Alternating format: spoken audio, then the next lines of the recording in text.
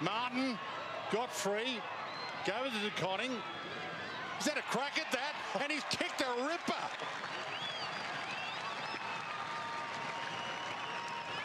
Absolute beauty from De Koning. And Gerard, I know you like him as a forward because he competes and he brings it to ground. But Yep. what was better as well, which David Teague spoke to us about at quarter time, what's the representation at ground level, pushing back in first, not allowing Fremantle to get there first. So Jack Martin with that front and square. De Koning kept his feet and puts it straight through from a tight angle. It didn't quite hit the boot absolutely purely, but uh, it's not about how you do it, it's about whether or not it goes through.